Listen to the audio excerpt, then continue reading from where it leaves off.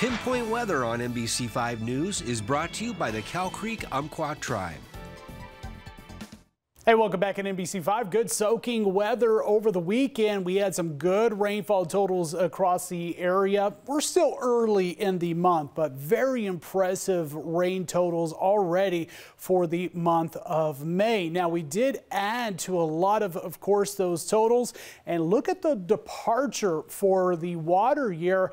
If you remember, Medford was falling a bit behind, and now we are above by half of an inch. A lot of pluses for the water year, which is fantastic news. Montague still below by 8 tenths of an inch. Now, when we're getting through this week, we'll still have some showers, especially here today, even might even continue into Tuesday morning before the forecast is going to dry out. And not only drying out, also going to be warming up. We're getting into well above the seasonal high for this time of year as we're heading into this weekend. In fact, this is kind of a repeat of the first 1st of May.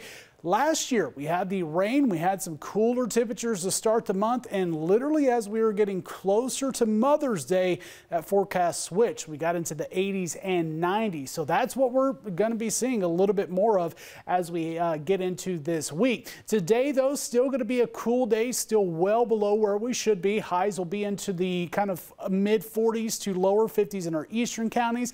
Uh, the rest of us will be into the mid and upper 50s. Temperature wise, not a huge difference difference compared to yesterday. There's a front just out to our west, and you're seeing good coverage of showers to our north. We'll continue that setup of showers into this afternoon, but again, after that, that forecast is going to be drying out. As we look at pinpoint forecast for today, it's like yesterday. Some shower coverage on and off throughout this afternoon. Most of the rain is going to be up into Douglas County and stretching along the coastline. We'll see this building up into the Cascades as well. Snow uh, snow level is going to be about 5,500 feet, so there's still the potential up to around six inches of snow possible up towards Crater Lake. You get further east, further south, still a few showers, but overall just a bit more cloud cover for this afternoon. Overnight tonight, a few showers lingering, especially a little bit further north. That onshore flow continues, and then we get into Tuesday morning. We're going to be clearing out of this pretty quickly, and that sunshine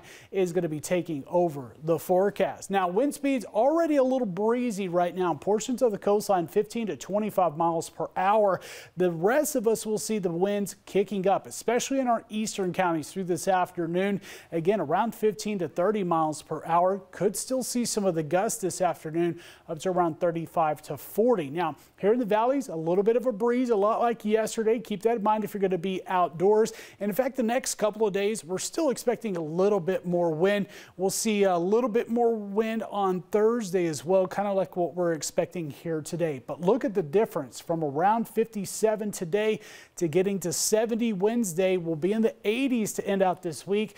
Mother's Day potentially could be at 90 degrees. Plenty of sunshine as we're getting through the rest of this week. After today, those morning lows will also be warming up, which is good news for our eastern counties, getting out of the freezing temperatures and in getting into some lower 40s by the week's end. Temperatures in our highs will be getting from 50 today to 75 by Friday and a breezier next couple of days. Today, the strongest wind speeds expected for the area.